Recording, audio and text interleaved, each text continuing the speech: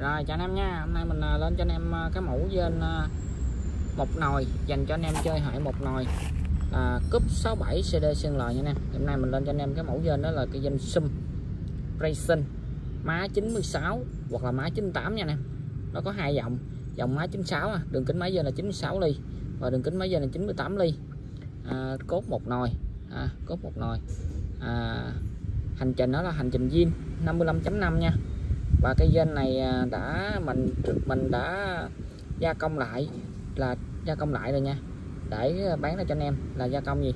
Đã săn chơi căng dục và bấm tích khóa ắt chống xe máy dên nha anh em. Và khi cái dên này là mình khi anh em mình bán cho anh em á, là sẽ đưa cho anh em một cái một cái khâu sắt bơm nhớt chuyên dụng để cho anh em nhìn chơi cúp. Mua về là gắn như zin và không cần phải độ chế nhiều.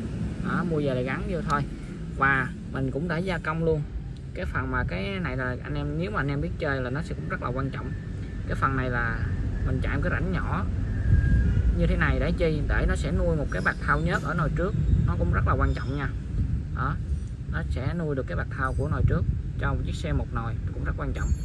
Đó, cái dên này thì cắt cốt chuẩn bao đẹp cho anh em. Thì đối với một cây dên 110 cắt cốt một nồi như thế này á anh em mua cây dên máy 96 thì mình sẽ bán cho anh em với giá là 650 đã kèm luôn cái nhông kéo bơm nhớt nha anh em.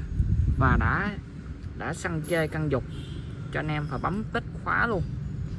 Còn nếu anh em lấy cây dên máy 98 á, thì sẽ có giá là 800 nha anh em. Đó là đối với giá cây dên một nồi. Còn nói đối với mẫu cây dên này mà cây dên hai nồi thì nó rẻ hơn nha anh em. Đó, cây dên hai nồi thì cây dên máy 96 chỉ 500 và cây dên máy 98 thì chỉ sáu trăm rưỡi.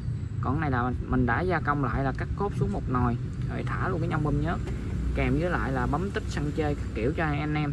Giờ anh em chỉ cần xài thôi. Đó. Một cây dên đẹp chắc như thế này thì mình bán à, cây dên máy 96 là sáu trăm rưỡi còn máy 98 là tám trăm rưỡi nha anh em. À, 800 nha anh em. Đó.